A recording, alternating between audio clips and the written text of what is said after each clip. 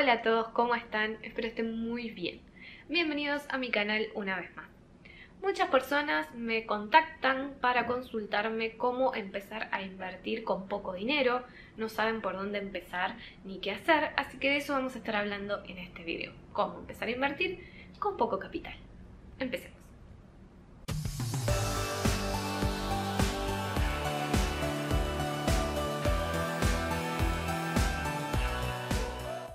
Lo primero que debo destacar es la importancia del ahorro.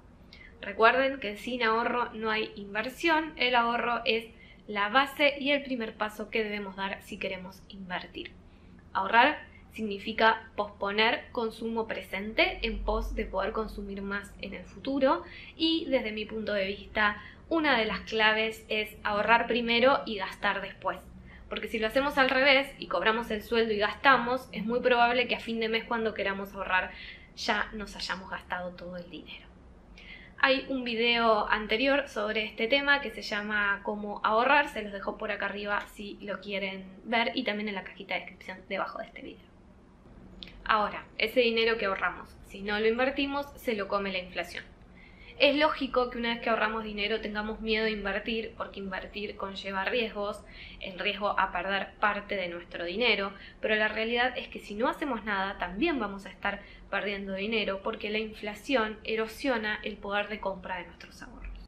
Una vez que tenemos un ahorro, es momento de empezar a invertir. Muchos creen que hace falta juntar un gran capital para comenzar, pero la realidad es que se puede empezar con muy poco dinero. De hecho, lo recomendable es empezar poco a poco para ir ganando experiencia. Por eso, lo ideal es comenzar con pequeñas inversiones. Hasta hace un tiempo el principal impedimento para quienes querían invertir con poco dinero eran las comisiones mínimas. Cuando se aplican comisiones mínimas significa que se paga un importe fijo por las operaciones hasta determinado importe y por encima de ese valor se paga un proporcional al monto operado.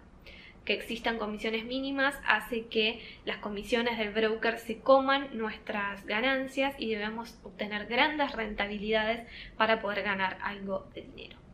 Hace un tiempo algunos brokers quitaron las comisiones mínimas y esto hace mucho más accesible al mercado a los inversores que tienen poco capital.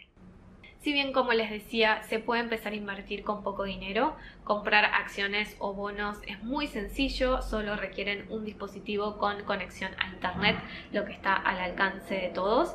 La realidad es que ganar dinero no es tan fácil. Por eso, si tienen poco dinero, antes de empezar a invertir, lo recomendable es que inviertan en ustedes mismos, en su formación y aprendan a detectar las oportunidades para saberlas operar y así poder aprovecharlas. Recuerden que si quieren aprender a invertir está siempre disponible mi curso online en mi web, les dejo el link en la cajita de descripción debajo de este video. Si les gustó, por favor suscríbanse al canal, así no se pierden cuando subo nuevos videos y compártanlo con todos aquellos que crean que les pueda interesar.